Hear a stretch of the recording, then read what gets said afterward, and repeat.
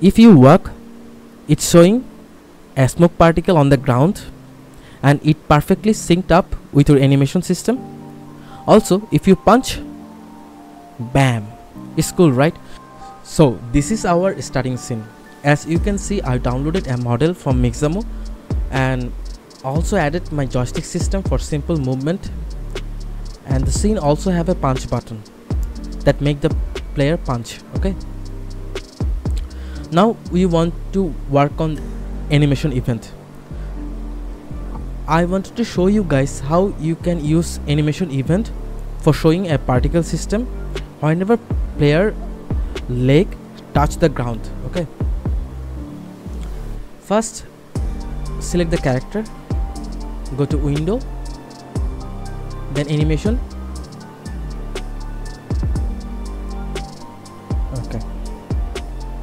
now we want to drag it drag this top down yeah as you can see. Our animation is playing right? So starting scene and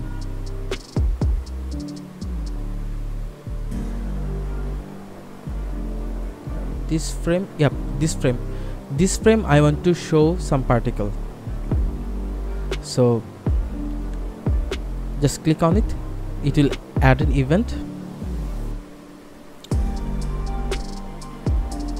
This is for left leg. Now for the right one. Go go go go. Mm. yeah this one looks good. Again add event. Done. Now if you want to go to event then go to no function selected just that there is nothing. You can select nothing. Okay s- now we have to add a, add a system that whenever our animation frame go to that event it triggers uh, something like say show some particle. Now create a script called animation event controller.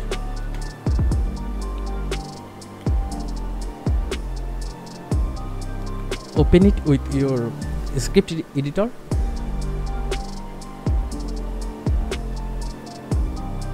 We want to show particle here right? On leg so click your ninja then go to your right leg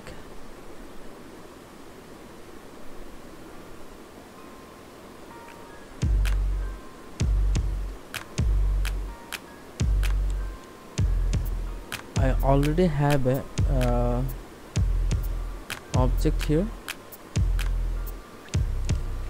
This one is left right and this one is right click particle. It's just a uh, just empty object just create one. Now click on the ninja and add animation event controller. Open script delete the default methods. We will create two functions. First one public void show left particle. Another one public void show right particle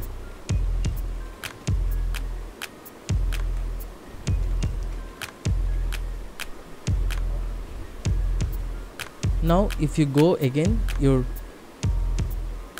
animations and click on this event. This one is for left left left leg here. So click on it and animation event controller methods show left particle. Similarly on the right one add right particle. Now pub now we need to take reference for our particle. So public game object uh, work particle. Also we added two empty transform right? Transform left transform and one for right transform what we are going to do is whenever left particle function called. We are going to instantiate our particle. So instantiate work particle? And as a parent we're going to give left transform copy this line of code and paste it here. Change the left transform to right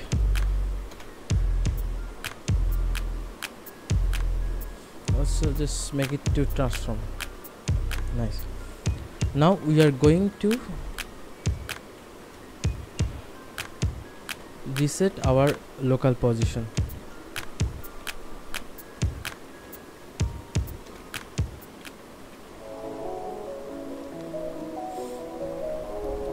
Now we have to assign our variable.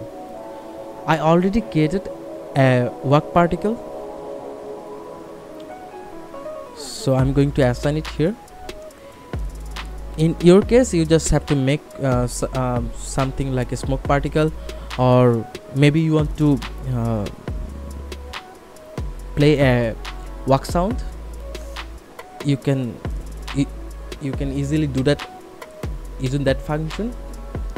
Now we need to assign our left transform and right transform right? So go to ninja left particle and the right left particle. Now if you play this game right now it should give you some particle yeah. You see you can see our particle working. So uh, this is one way that you can do this one but uh, let me show you something. You see it has a lot of already smoke dust. But you actually don't need that many options. Uh, for this kind of particle just use object pooling system. Just just use object pooling system it will work. Okay? Let me show you an, another example. So whenever a character is punching we want to give some particle right? For work particle we instantiated our smoke particle but you can do it another way. Again for that go to window animations and select your punch animation. Then let's see which frame we want to add some particle. Yeah this one looks good okay. Click on it. Event but we don't have any method for this one so let's create public void show punch particle. We need another reference public game object punch particle. Now let's see which frame is punch right? So you can lock your animation window here. Now click here. Let's see which one is showing. I think is is a right arm yeah. So go left shoulder right shoulder. And so let's remove our animation event from here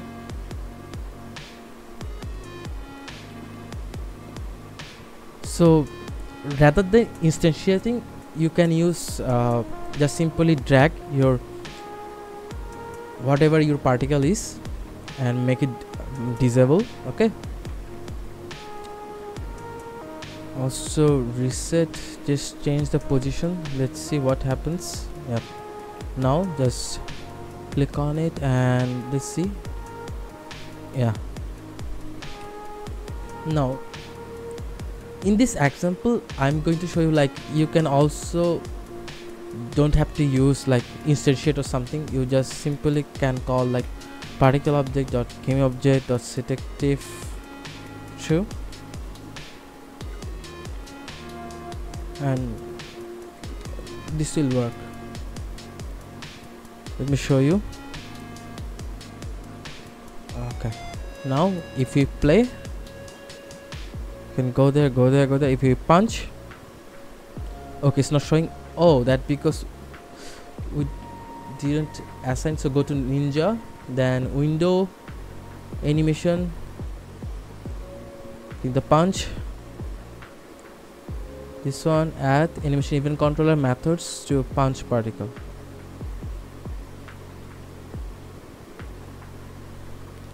Work particle punch. Yeah you see our punch particle work perfectly. But there's a problem. Did you notice like uh, your punch particle showing the first time but on the second time it's not showing? So you can handle it different way but in my case i will just add a like object lifetime script object lifetime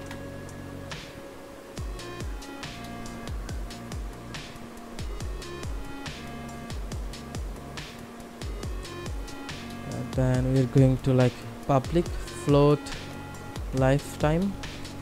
And then we're going to create a coroutine a private i enumerator. Disable object go. Else return new wait for seconds. We're gonna wait for our lifetime. Then object dot set active false and we are going to call it from from our OnEnable functions. So start coroutine this is all object go you can also use like an invoke functions to make it disable. So click on a particle add component object lifetime then go to give like so our implementation point is 0.25 so let's give it like say 0.3 seconds. Okay now if we play showing again. So this is for today guys. If you have any questions or need further assistance please feel free to leave a comment below. Remember to like this video and subscribe to the channel. Thank you guys for watching